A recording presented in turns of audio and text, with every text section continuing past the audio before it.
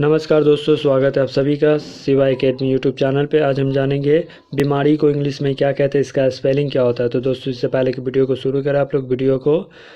like और channel को subscribe कर ले ताकि हर रोज़ आपको नए नए वर्ड का मीनिंग जानने को मिले तो चलिए दोस्तों वीडियो को शुरू करते आप सभी को बता दें बीमारी को इंग्लिश में डी डिजीज कहते हैं डिजीज का स्पेलिंग होता है D I S E A S E disease means बीमारी तो दोस्तों ये था आज का खास वीडियो मिलते हैं नेक्स्ट वीडियो में तब तक के लिए आप सभी का धन्यवाद